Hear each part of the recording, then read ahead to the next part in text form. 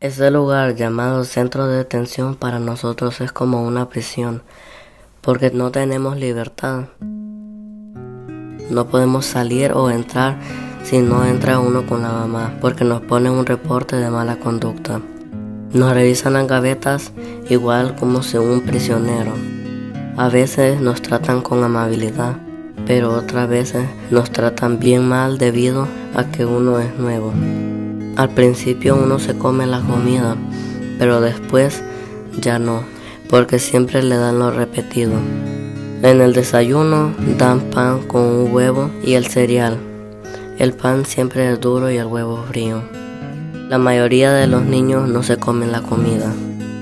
Lo positivo de este lugar tenemos escuela, nos dan zapatos y cuatro vestidos para cambiarnos de ropa. Lo malo es, vivimos tres o cuatro familias en el cuarto. Es triste saber que uno no sabe cuándo va a salir de este lugar. Encerrado y a veces no tiene dinero la mamá para hablar por teléfono con la familia.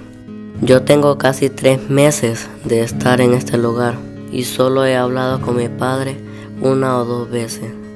Mi madre gana tres dólares pero lo usa para comprarnos alguna merienda, ya que mi hermano y yo no comemos la comida que nos dan. A veces gasta el saldo para llamar a la abogada o a mi familia. Cuando ella quiere hablar con mi padre y hablamos yo y mi hermano, gastamos al menos 7 dólares. Solo ajustan para dos sopas y una galleta, que es lo único que logra comprar ella al día. Yo me aflijo y me obligue saber que no sé cuándo saldremos de este lugar. Yo tengo la esperanza que vamos a salir libres.